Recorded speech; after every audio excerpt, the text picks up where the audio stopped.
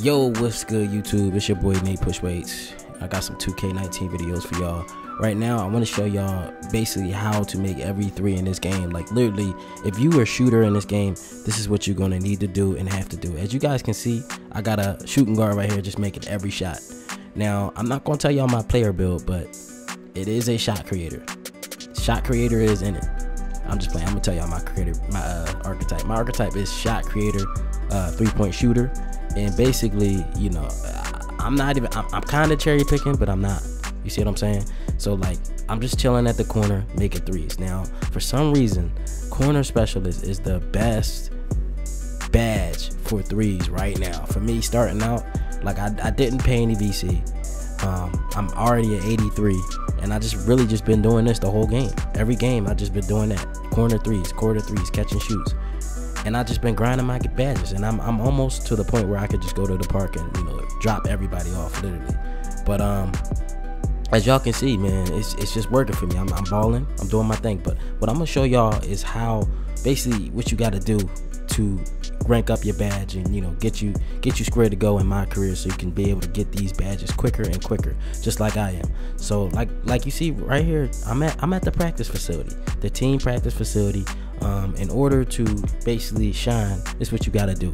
You gotta basically do a drill for your uh, your badge, which is corner specialist. Corner specialist, like I said, you will make every three with corner specialist. So grind that badge. Boom, get in practice. Boom, just like that. Boom. I hit greens like six six greens this this whole practice. Boom, green. Look at that. Green. Boom, boom. Boom. Boom. Miss one. Boom, green. See, I barely miss, as you can see, y'all. I'm, I'm just, I'm grinding. You feel me?